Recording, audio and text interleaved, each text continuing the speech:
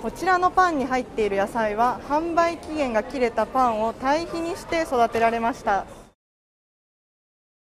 この取り組みでは販売期限切れのパンに酵母などの菌を加え堆肥の原料の一部として再利用します。神奈川県のベーカリー3社がこの堆肥で栽培された春菊やキャベツなどを使い循環型のパンを商品化しました。15日から28日まで販売します。1日1万個以上のパンを販売する横浜高島屋のベーカリースクエアでは多い日で1日に3キロから4キロの廃棄が出ることから閉店後の冷凍販売などの食品ロス対策に取り組んでいます。